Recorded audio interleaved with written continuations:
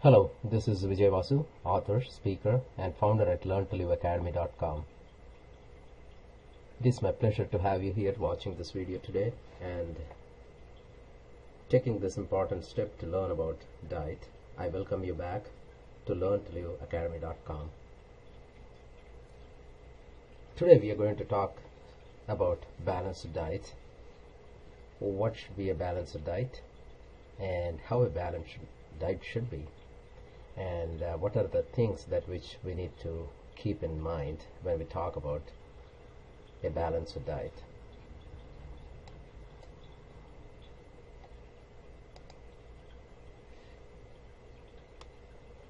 A balanced diet, I put together a small framework consisting of five different steps so that it is easy for everyone to follow and understand how exactly we need to split our diet into five important steps.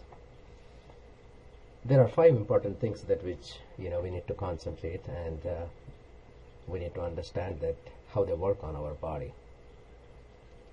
Now diet plays a major role in the human life and anatomy. We take a lot of pleasure eating our favorite foods. It is an enjoyment we have food in every occasion or for every occasion. It is one of the important things that uh, satisfies human beings. It is one of the greatest gifts for human beings. Today, there is good amount of food everywhere and there is a wide variety of food available. We live in a generation we don't anymore struggle for food. It is abundant and it is everywhere. With that, it becomes very important for us to understand what is good and what is bad food.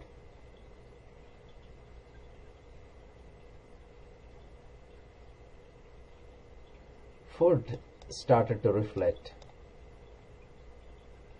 on our body it is just a saying that we look the way we eat. Or whatever we eat, it impacts our size, health, and looks. So it is time for us to understand how exactly a balanced diet should be. Not only providing satisfaction to us, but also providing nutrition to have a better health. Now what to eat and what to not what not to eat is another important factor. To understand that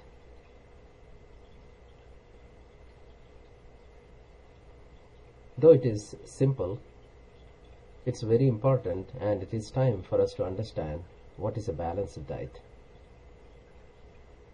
There are five important things associated to bring that balance.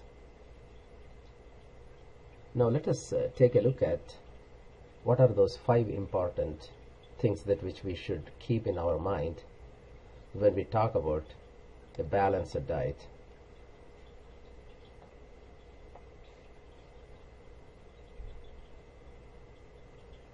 A balanced diet consists of uh, carbohydrates, protein, vegetables, fruits, and fats. The five important factors that is part of a balanced diet consists of all these five different food. It is very funny to say some of us just consume more of one or the other just because we all have our favorites. Some diets are also misleading. But as per my opinion, diet should be balanced to help us satisfy and as well as it should provide enough of nutrition to keep a good health and energy on a daily basis. Now this way of dividing and eating food not only brings satisfaction but also brings health.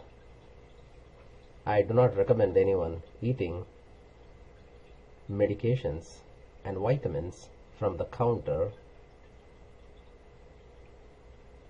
Instead, I want you to consider eating real food to bring that vitamins into your body. Food not only fills your stomach, it provides macronutrients for your overall health and fitness. Do not just rely on medicines and vitamins until unless it is recommended by your doctor and it is necessary for your health. The first thing is you will never go wrong with food even if you consume more than what you need. But eating vitamins in the form of pills goes beyond the recommended dose can create health issues. If your doctor recommends, it may be necessary for you to have them in a recommended dosage. So the disclaimer here is if your doctor recommends and uh, it's it's your health uh, have some concerns having certain food you may consider going to the doctor and get their recommendations and consider eating you know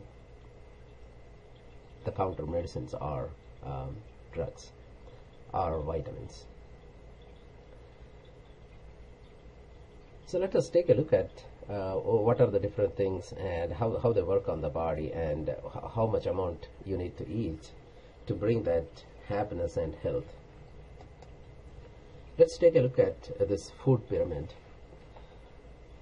A pyramid consists of uh, all the different kinds of food. But if you look at the pyramid, you will know if you start from the bottom, um, the major food item that has to be considered to keep our energy level is the carbohydrates. Carbohydrates gives instant energy and that's the major food item that which you will be eating on a daily basis. Now from this food pyramid, the major part of your meal consists of carbs and carbs comes in two different forms. Some are simple carbohydrates and other are, others are complex carbs. Simple carbohydrates mostly comes from bread, cereal, rice or grain groups.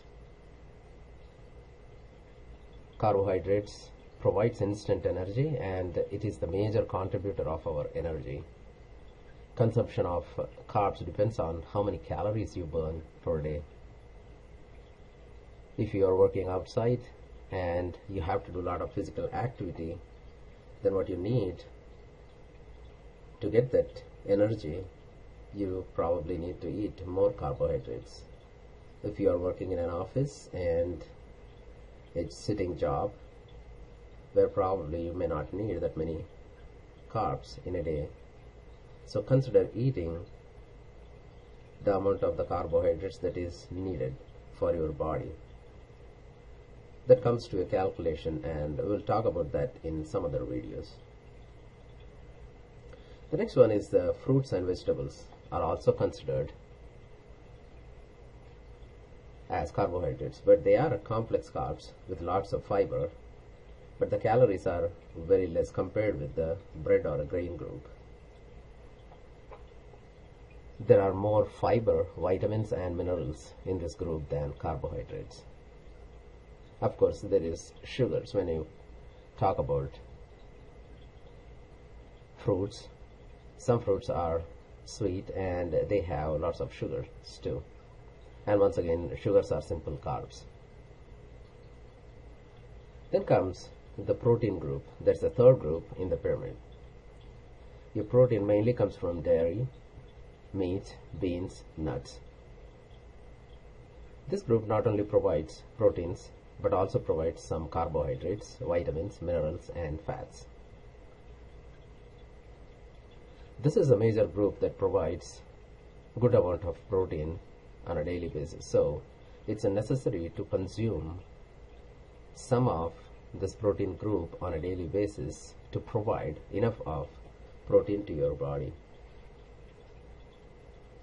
Protein is very important and it is everywhere in our body and every part of our body have proteins. Now if you take an example, your nails, skin, eyes, hair, every one of these requires good amount of protein and it consists of lot of proteins to make it look healthy and you will feel healthy. Now the last one comes as the fats. Now direct consumption of fats should be limited because too much of fat can be harmful to health. So consider sparingly eating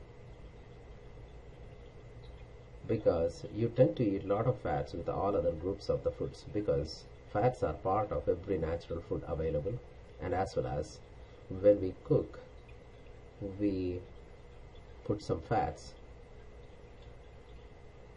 into the food that which we cook normally. So you may add oil butter and other things into the food that which you cook on a daily basis. Which sometimes it's difficult to calculate. So consider eating a direct consumption of fats to a limited amount. That way you won't go beyond the level of your body needs. Now let us also split and look at you know how, how these food has to be uh, split into percentages and figure out how to eat on a daily basis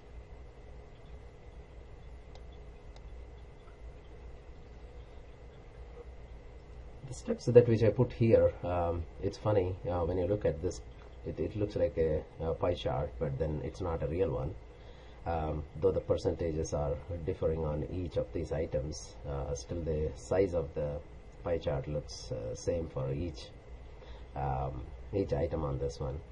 If you see the fats is 10% and carbs is 30 but the size is the same. Um, uh, it's just a picture and it's it's not a real pie chart if you look at this one, you know, the, the reason I put this uh, here, uh, just to make sure that you understand, uh, you know, approximately how much amount of uh, different food items should go into our body on a daily basis with our meals. Some people, they eat three meals, some they eat more than that. And um, as per my experience and knowledge, I feel it is good to have five to six meals on a daily basis.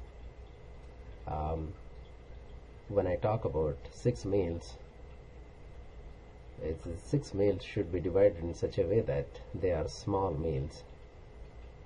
Uh, most of the time, you know, people what they tend to eat is three big meals, and uh, um, what happens is you give your body more than what it needs at that point of time, and uh, that can interfere uh, if you if you if you are considering yourself um, losing weight, then probably that may not be the right way of eating. But we'll talk about that in some other videos, though. So consider eating, you know, at least five to six meals, and probably that's the best way of eating.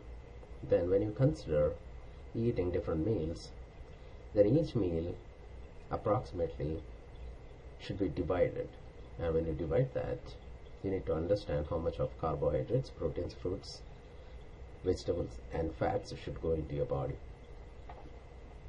Especially when we talk about this, you know, it's just carbohydrates, proteins and fats. But then I divided that into vegetables and fruits to make sure that uh, you consider eating those things too. Normally people tend to think when I talk about carbohydrates, they just think it's uh, bread groups. It's, it's not true. So from this uh, food, uh, when we look at this chart here, we can say that direct consumption of carbohydrates should be approximately 30%. The rest of the carbs should come from uh, vegetables and fruits. So you are consuming a good amount of carbs, like 30% from the direct carb consumptions from bread groups, and uh, then we have vegetables and fruits too. So totally you are considering eating approximately 70% of your food items is coming from carbohydrates. Now this is for a normal person who uh, on a regular basis do not do uh, much of a physical activity um, outside or uh, who is not going to gym and doing some kind of workout it also provides enough of energy and vitamins by eating carbohydrates vegetables and fruits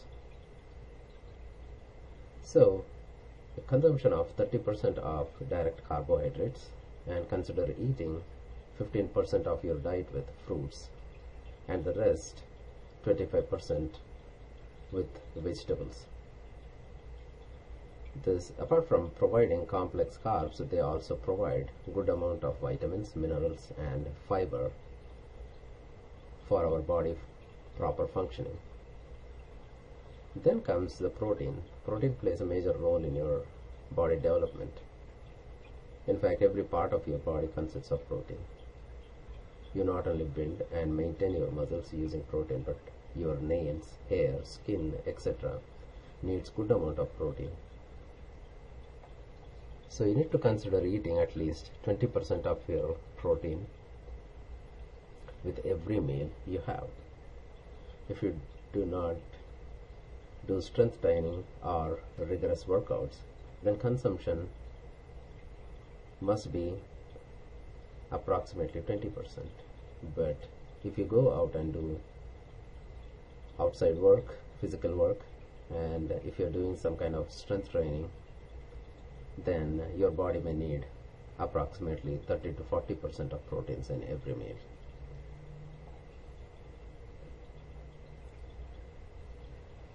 Consumption of fat is also important for your health.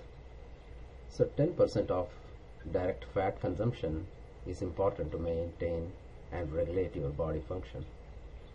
Some foods are dissolved only in fat and that becomes important for us to consume fat on a daily basis. Some of the vitamins and minerals that which we consume will melt only with the help of the fats and some of your body needs fats to function properly. So consuming fat is not a bad thing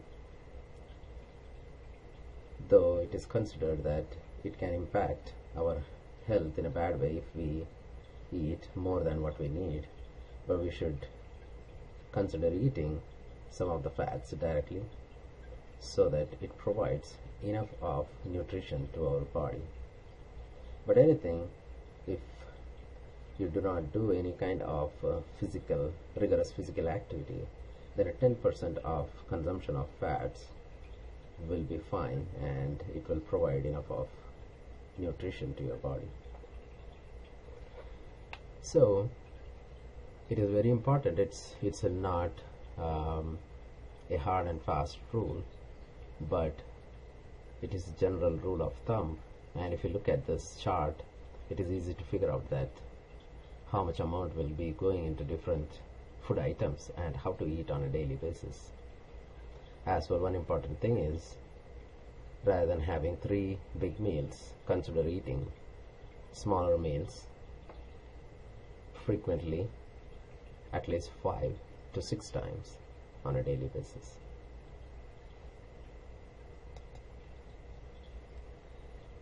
to learn more about um, health, diet, exercise, and how to rest, or for some motivation, watch our videos, blog, and downloads. Once again, this is Vijay Vasu, author, speaker, and founder at learntoliveacademy.com. It was wonderful sharing this video with you, and thanks for watching. If you like this video, do not forget to share your comments and likes on the Facebook. Thanks for watching and have a great day.